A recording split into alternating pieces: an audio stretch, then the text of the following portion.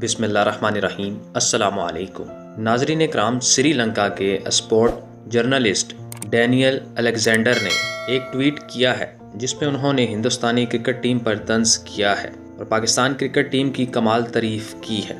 Tweet में लिखा कि हिंदुस्तानी क्रिकेट टीम की एक टांग मुंबई एयरपोर्ट पर है, जबकि Pakistani T twenty world cup 2021 के सेमीफाइनल में है।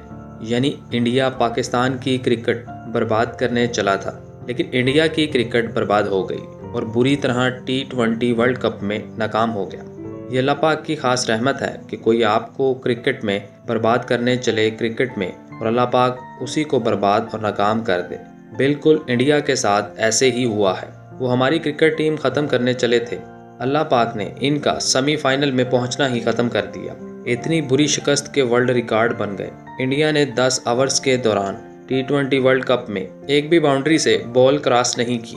पूरी दुनिया में इंडिया का मज़ाक बन रहा है। कहा जा रहा है कि इंडिया टीम सिर्फ़ घर में शेर है। इनको सिर्फ़ आईपीएल खिलाओ।